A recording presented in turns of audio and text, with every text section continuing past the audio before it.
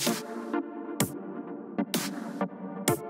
So I'm Dr. Kristen Gosselink. I'm an associate professor in biological sciences. I'm also a half-time associate dean in the College of Science. Um, I also am the UTEP campus director of A Prime Time, um, which is a five-school pre-med accelerated program partnership. And so the, the University of Texas recognized that the healthcare needs of Texas are going to increase over the next however many years in the future.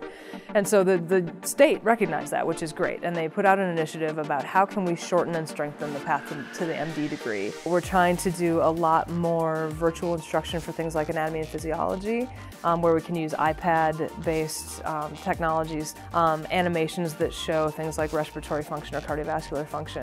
Uh, physiology is really well suited for, for technology. Um, another thing that I think is really important for a program like ours where we have multiple institutions trying to get students through a similar program is that we can be assured that we're teaching the same material.